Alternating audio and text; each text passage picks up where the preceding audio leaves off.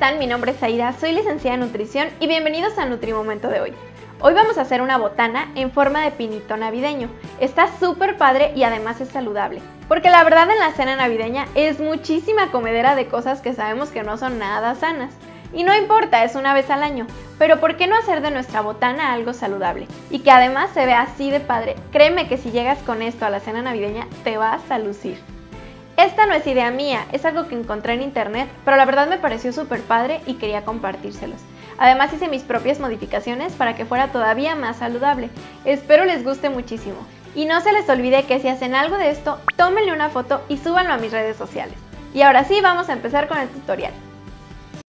Para este increíble y colorido pino frutal necesitaremos una manzana, palillos de madera, y una zanahoria pelada. Estos son los ingredientes básicos. Todos los demás dependerán de qué frutas quieras utilizar. Por ejemplo, yo utilicé uvas verdes, una carambola, melón, cerezas, uvas rojas, fresas y zarzamoras. Esta vez no doy cantidades porque todo depende de qué tan grande y frondoso quieras tu pinito. Recuerda que todo debe estar perfectamente lavado y desinfectado. Es un procedimiento entretenido pero muy sencillo.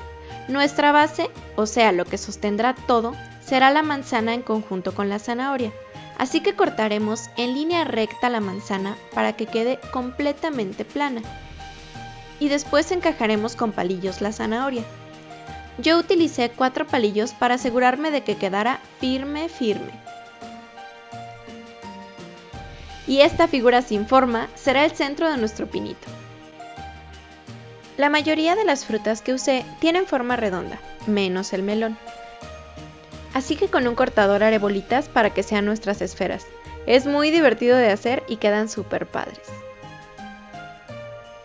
Ahora sí viene lo más divertido, formar el árbol. Llena tu base con palillos. Trata de no dejar huecos grandes. Esta es la parte más entretenida, pero es importante que la hagas con cuidado para que tu pino sí tenga forma triangular. Es decir, los palillos de mero abajo se encajan con menos profundidad que los de arriba.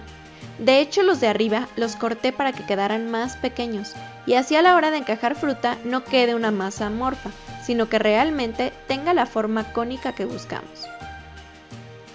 Hacer esto es la clave principal para que tu pinito tenga la forma ideal.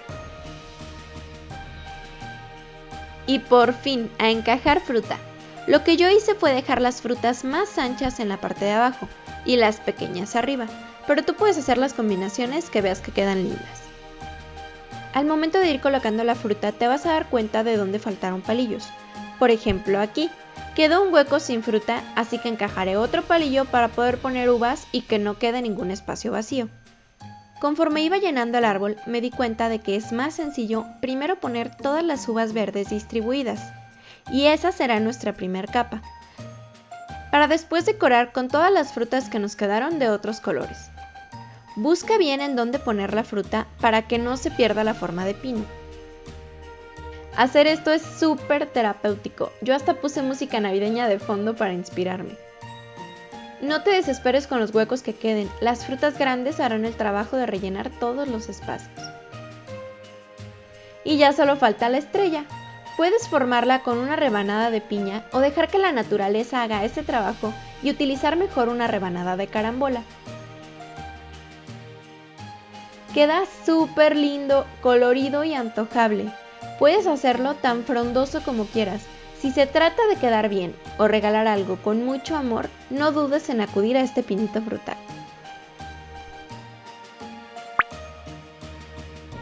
Este segundo pinito de botana será salado y es mucho más sencillo de hacer. Vamos a necesitar panela cortada en cuadritos, jitomates cherries, pimiento morrón, apio y varitas de romero. Sirve para hacer tés, condimentar platillos o adornar, que es como lo usaremos hoy. De nuevo no doy cantidades porque todo dependerá del tamaño que quieras darle a tu botanero. Vamos a iniciar cortando el apio en su parte más gruesa rebanando aproximadamente 5 centímetros, o según el tamaño de tu pino, porque este será el tronco. Ahora cortaremos trocitos como de medio centímetro.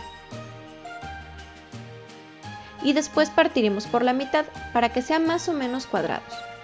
No tiene que ser perfecto, así que no te preocupes por eso. Ahora vamos a cortar el pimiento morrón por la mitad y luego lo desvenamos quitando todas sus semillas y partes blancas. Una vez desvenado, vamos a cortar tiras largas y delgadas, más o menos así. En una charola grande, comienza a armar tu árbol poniendo mero abajo el trozo de apio que habíamos destinado para el tronco. Ahora voy a poner una tira de panela en cuadritos, luego una tira más pequeña de jitomates cherries y en medio la varita de romero, después una tira de cuadritos de apio y otra de romero y así sucesivamente, haciendo la forma del triángulo cada vez más angosto en la parte de arriba. No olvides poner en medio de los jitomates, panela y apio varitas de romero para que no queden huecos. Si no encuentras romero, puedes sustituirlo por romeritos. Ahora sigue poner las tiras de morrón, simulando nuestros listones o luces navideñas. Y ya solo falta la estrella, la haremos con panela. Sé que a ustedes les quedará bonita, pero la verdad es que creo que yo reprobé la clase del kinder donde enseñaban a hacer estrellas porque me quedó como deforme. Después se me ocurrió que podía usar un cortador de galletas y ya quedó linda, linda. Se ve hermoso, es muy saludable y perfecto para botanear algo antes de que llegue el plato fuerte en Nochebuena. ¿A poco no quedó bonito? Ambas ideas son muy saludables, así que no dudes en invertirle un poco de tiempo, además tu mesa se verá increíble. Ya vieron, están súper fáciles de hacer y súper bonitos. En verdad que si los hacen van a quedar muy muy bien con su familia. Y pues esto es todo por hoy, espero les haya gustado y les sirva muchísimo. Recuerden que tenemos redes sociales y pueden seguirnos en todas ellas. No olvides compartir este video con todos tus amigos para que también ellos puedan tener estos hermosos pinitos. Muchísimas gracias y tal vez este sea el último video del año, así que de paso les deseo feliz Navidad y feliz Año Nuevo. Que estén muy bien y que Dios los bendiga. Nos vemos en el próximo Nutrimomento. ¡Chao! Ahí está, entonces ponemos esto. ya. Se me fue la mano y se subió de más.